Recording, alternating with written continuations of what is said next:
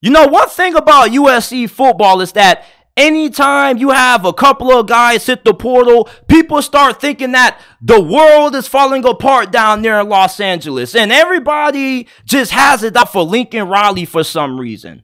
So USC has some kind of transfer portal mass exodus going on. They lost hella former five stars. You lost a defensive end who was a former five star. Korey Foreman, he hit the portal. Five star quarterback, highly touted QB coming out of last year's recruiting class. Malachi Nelson, he hit the portal as well. Then you got Domani Jackson, who was really productive this season, by the way, he hit the portal. What the hell is going on? Is this a reason to be concerned if you're a Trojans fan? I don't think so. Why? I mean, you're losing a lot of talented guys who were coming out of high school who played on the defense that sucked last year. Why are people freaking out about this? Oh, oh Lincoln Riley, he's losing to that USC. They're losing all these players to the portal. USC is going through the same exact thing that the rest of the other teams in college football are suffering right now you're getting into bowl season, and some of your best players or players that were highly touted coming out of high school are hitting the portal. Is USC the only program going through this? No. Why is it that people want to make it seem like when USC loses a couple of transfer portal, lo- you loses a couple of guys to the transfer portal, they're the only team that's suffering through it? No. Texas A&M just lost arguably their most talented wide receiver to the portal.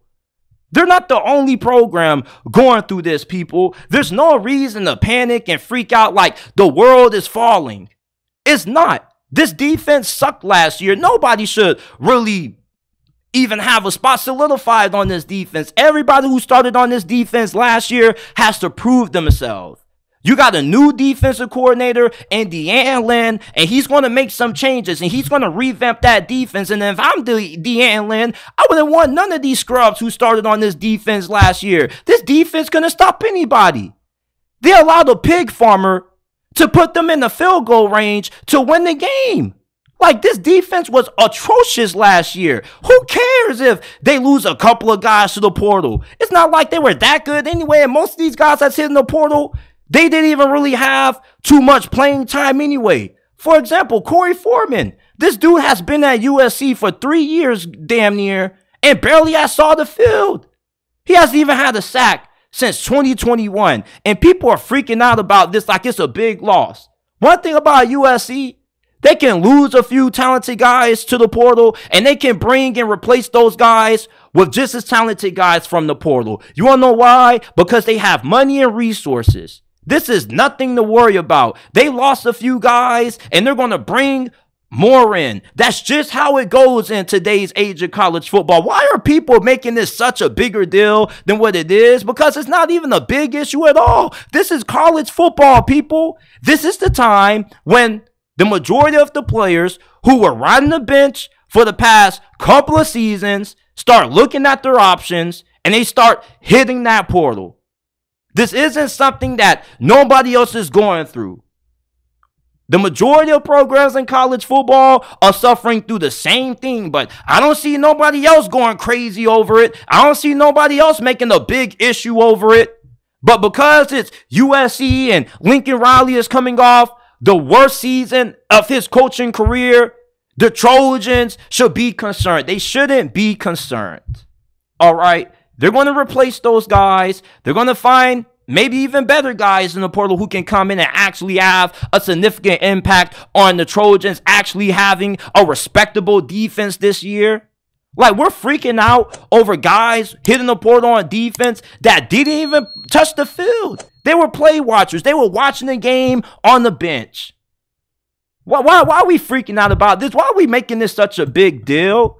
Trojans fans probably aren't tripping over this, but for the teams in the Big Ten like Michigan and Ohio State and Penn State, yeah, I've seen, I've seen, I've seen y'all. I've seen y'all coming at USC saying, "Oh, they're going to be, they're going to be in trouble when they get into the Big Ten. Oh, these talented players exiting the program. What's going on? What's going on is that it's transfer portal season."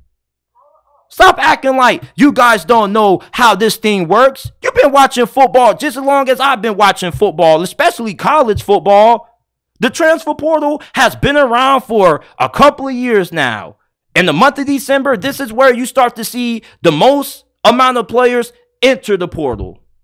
Like when you got a talented roster and you recruit at a very high level, there are going to be players who are going to want to leave if they're not seeing the field. What, what's the big issue with this? USC is fine. All right. If you're a Penn State fan and you're a Michigan fan or Ohio State fan and you're one of the people that's trying to make a big deal over this, you need to worry about your program. You need to worry about your team when USC comes ready to play. Because if this team has a defense this year that's even remotely as good as what UCLA's defense was this past year under D'Anton Lynn, college football is going to be in a world of trouble because USC is going to be good enough to win it all. They just got former Kansas State quarterback Will Howard in the transfer portal. Malachi Nelson, he was a little bit of a letdown. He wasn't really expected to ever see the field at USC. He wasn't really that great, according to reports and what people are saying about him and how he played in practice and whatnot. Losing him is not really a big issue. Lincoln Riley is the quarterback guru. His last couple of quarterbacks have all had success in the NFL and have won the Heisman. Trust me, there are plenty of the quarterbacks out there that are highly talented, five stars or four stars in high school right now, that are just jumping at the bit to play for Lincoln Riley. If you want to get to the NFL and you want to be a potential first, second round pick, Lincoln Riley is the dude to go to who can get you there. Nobody should be worried about Malachi Nelson hitting the transfer portal. Yeah, he had a lot of potential and upside, but so did Dante Moore. There's been countless quarterbacks from last year's recruiting cycle that were hyped up and haven't really been able to live up to those high level of expectations. There's no reason to panic about USC football. They're fine. What they're going through is nothing different from what the rest of the sport is going through right now.